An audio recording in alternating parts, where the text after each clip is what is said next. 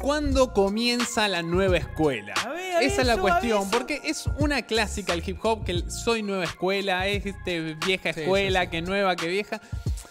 Y se utiliza en el hip hop como para cuando algo es nuevo o algo es viejo, y esa no es la definición exacta, porque existe una nueva escuela del rap. ¿Cuándo surge esta nueva escuela en la historia del rap? ¿Qué raperos son de la nueva escuela del rap? Así que hoy traje esa data y la voy a cerrar con la recomendación de una peli muy buena y muy rapper fundamental para que vean todos. Que además de ser una peli que está espectacular y que hay mucho rap y momentos históricos, todas las personas de esa película son los que fundaron el sello discográfico, los que rapeaban ahí, son las legends de Of the- jóvenes. of the rappers. Bueno, ¿cuándo nace la nueva escuela? ¿Cuándo, Año amigo? 83-84. De hecho, se lo adjudican a Randy MC. Tenemos en la primera foto eh, para ver que este es el single al que se lo adjudican con este lanzamiento. It's Like That, Sucker MCs, que ese es terrible clásico. Sí, mal. El fin de la vieja escuela se va a dar con, la, con el predominio del gangsta rap. Cuando ya aparece fines de los 80, principios de los 90. Ese es el periodo que dura. Pero ¿qué es lo que cambió como para llamarse nueva escuela? ¿Cuál fue el cambio radical que hizo en el hip hop? Porque son muchos. Tanto desde el punto de vista de la composición musical, a diferencia de temas anteriores como Sugar Hill Gang y demás, quiero aclarar algo que es importante y es interesante la observación. Desde el inicio y nacimiento del hip hop se mantuvieron elementos, como las bandejas, una persona rapeando, pero entre medio, por ejemplo, con Sugar Hill Gang y demás, empezaban a tocar las bandas, los samples, la música, y ahora con los drum machine, la caja de ritmos, empieza a volverse un poco más minimal y mucho más de batería y deja un poco el legado del funk y la música disco y empieza a tomar cosas más prestadas del rock. El claro ejemplo es Beastie Boys, de lo que estamos hablando y que también surgen de Def Jam y eran los protegidos de Rick Rubin. Pero ahora vamos a llegar a eso. Los raps mejoran muchísimo. Desde la etapa anterior hasta que aparece Randy MC. A ver, en esta década también tenés un Eric B que cambia las reglas del juego a la hora de rapear. Pasa que de eso también vamos a hablar porque eso es la segunda etapa de la nueva escuela, mejor conocida como la Golden La Era. Golden Era, claro, sí, sí. O sea, esta parte es muy picante, muy represent y define muchísimo el hip hop. O sea, estamos hablando de la nueva escuela, año 83-84 en adelante. Ya está, ahora cuando decís soy de la nueva escuela, no, Randy MC No, no, era no, de la nueva escuela, claro. soy de la vieja escuela. Claro, Grandmaster Flash, África Bambata son de la vieja escuela.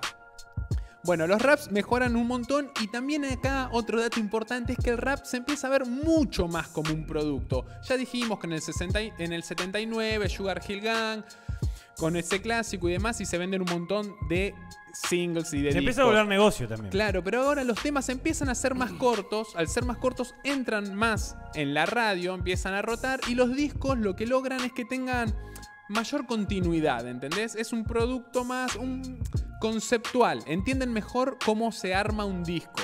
A diferencia de los anteriores, dijimos, la de Sugar Hill Gang, eh, Rappers Delight, tenía una edición de 15 minutos. Entonces vuelve a ser un hip hop, el, el hip hop vuelve a ser más negocio y encaja mejor en el mainstream. Se transforma en la radio, empieza a vender discos buenos y demás. Pasemos a la próxima foto, porque no es solo de cómo hacen los beats, cómo suena y demás. Hablemos del estilo, de la identidad, del street fashion.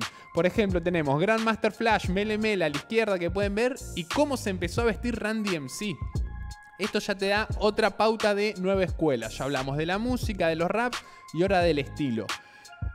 La Ya- ropa deportiva, ¿no? Todo eso que Claro, o sea, conjunto deportivo, jeans, zapas deportivas, las gafas, eh, el piluso. y si lo comparás, antes tiene todavía los elementos de la música disco y del Exacto, funk. ¿Entendés? sí, todo muy al cuerpo. Tal cual. Ahora ya fueron las plumas, la brillantina, los brillos, todo eso ya fue. Pantalones anchos, ahora son pibes con una actitud más b-boy, lo podemos decir. Como los Exacto. pibes de la calle del hood que ya les estaba yendo bien, o estaban en un hustling y tenían ahí su chain. A mí sus una peli que me sirvió, un documental me sirvió una bocha para todo esto es eh, Fresh Dressing.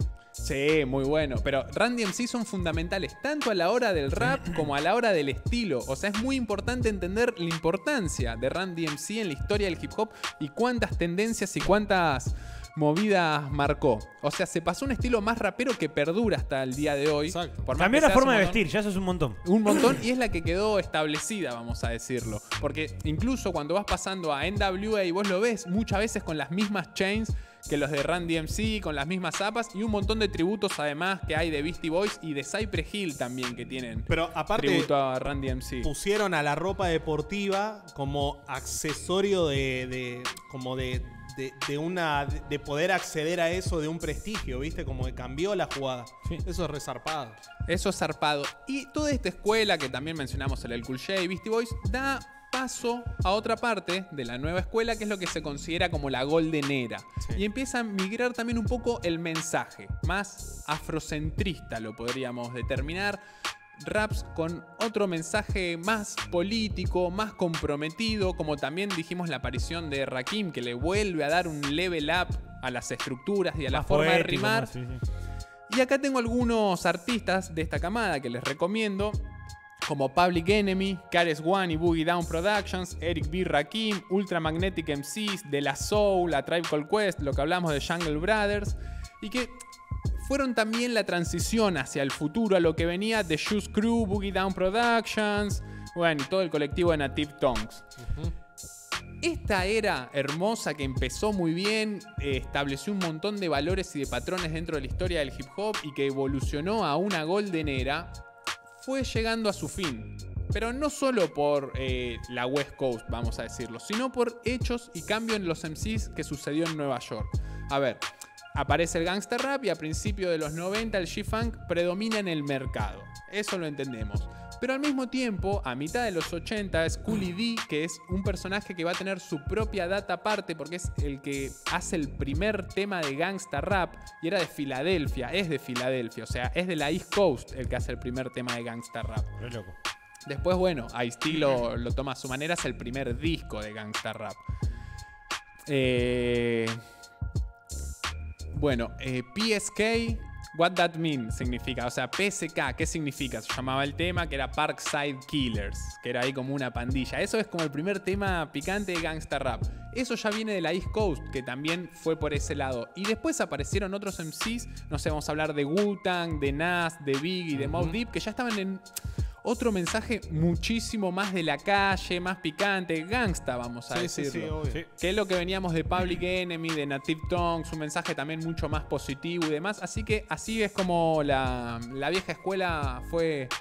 desapare- La nueva escuela fue dejando su lugar a otra nueva camada. Ahí entendimos la época. Y como recomendación, porque esto es una mención especial de lo que hablábamos recién, Def Jam Records es fundamental en toda esta era. Es uno de los sellos más importantes, más míticos de la historia. De hecho, era con el lío, viste, este de Kanye. Tiene que ver de Jam también. ¿eh? Claro, porque él, eh, todo Good Music y Rockefeller está dentro de Def Jam.